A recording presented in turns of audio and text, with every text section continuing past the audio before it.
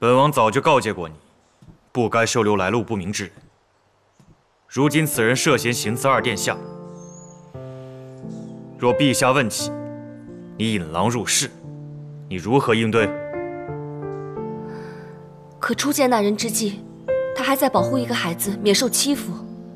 身为逃犯，却仍有恻隐之心，不怕惹事。他怎么可能是刺客？人心险恶，马郡主，看来你还没有看清。这里是京城，不是你的夔州小弟。这里的每一步，都有可能暗藏杀机，引来杀身之祸。你清醒了吗？还是你没有办法接受被你相信之人背叛的滋味？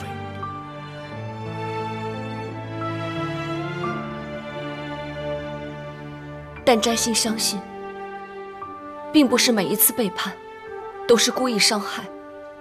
有时，表面看似是在背叛他人，实则是出卖自己。启禀主子，陛下急令，命主子还有马郡主即刻入宫觐见。似乎是因为博王府窝藏逃犯之事，使陛下勃然大怒。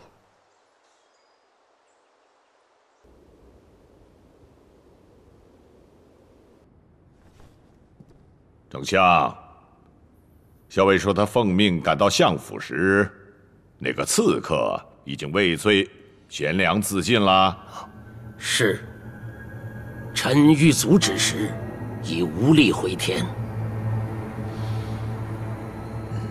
陛下，丞相句句说那逃犯乃是刺客，无凭无据，何以断定？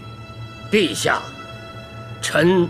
从这个奴隶的口供中得知，他对二殿下执法不阿心存恨念，故立即赶去抓人，并且臣从其靴履中搜出了一把匕首，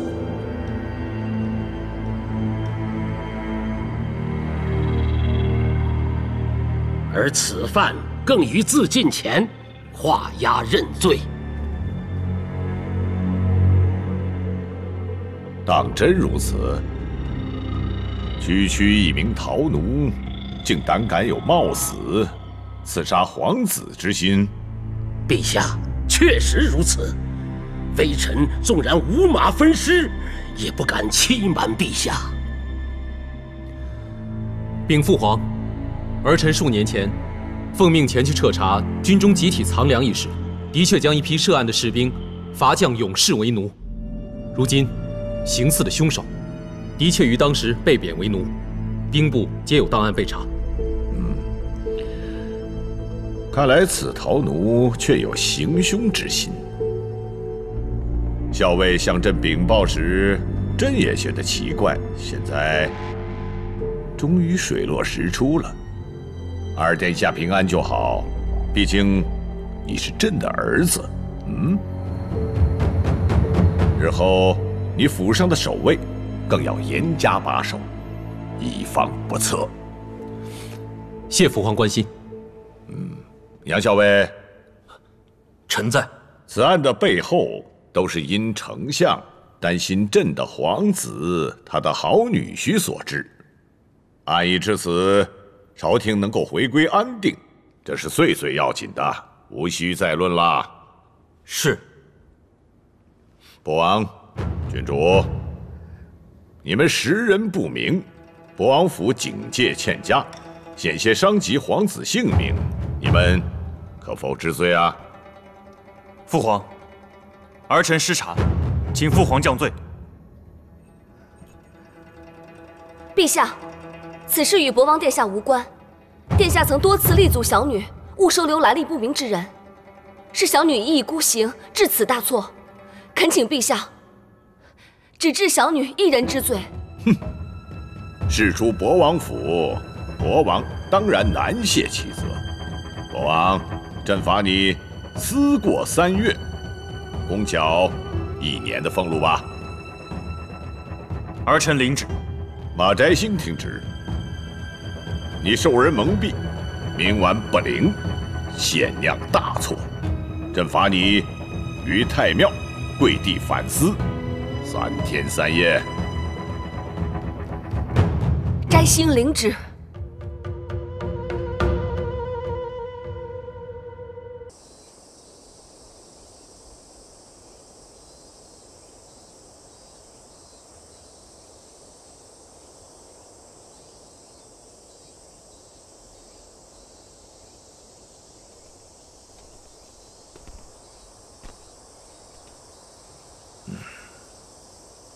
怎么？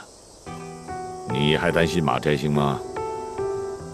不，只是马摘星还有用途，怕他挺不过，会坏了大事。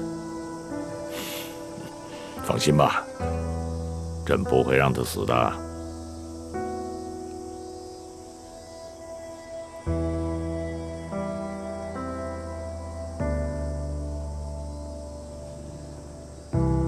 国王，你这个准王妃并非池中之物，你要挫其锐气，让她安分些，别给朕惹出事儿来。儿臣明白。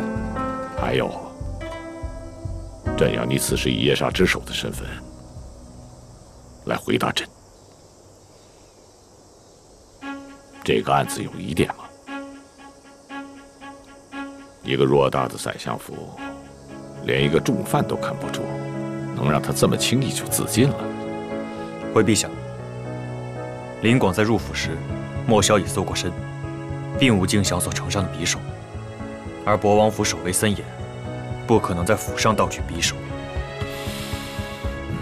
果然有异动，那你就详尽的查下去，三日之内，朕要真相。是，遵旨。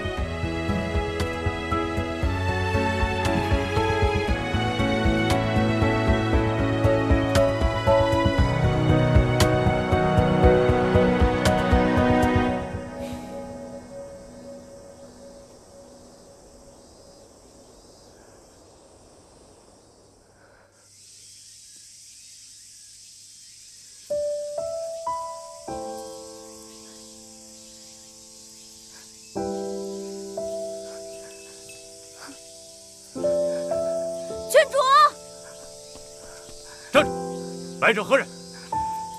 君爷，我是博王妃侍从马静，我想给他送点衣服过来。陛下有命，任何人不得靠近。退下！郡主，你没事吧，郡主？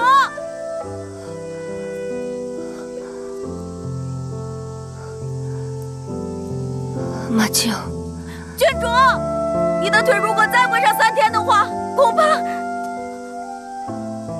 别担心，我现在就去想办法。不准告诉风城大哥，不能再因为此事破坏了朝廷与马家军的关系，连累博王。郡主，马静，这是命令，不得违抗。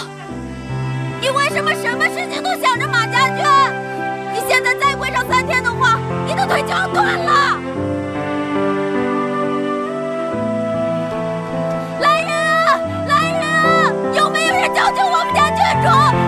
不好，你快去叫人救救他！快去呀！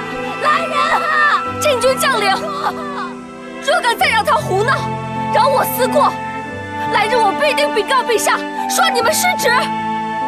听到没有？再闹就把你拿下！即刻退下！